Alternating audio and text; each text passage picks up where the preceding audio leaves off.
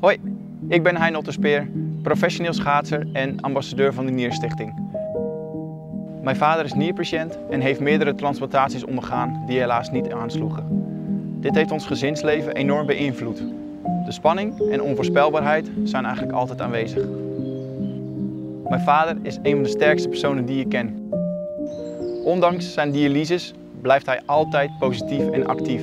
Zijn doorzettingsvermogen inspireert mij daarom ook elke dag. Als sporter weet ik als geen ander hoe belangrijk je gezondheid is. Maar dat het ook zeker niet vanzelfsprekend is.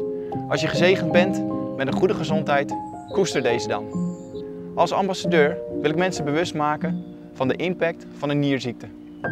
Samen kunnen we het verschil maken voor een betere toekomst voor nierpatiënten. Help jij ook mee? Dankjewel.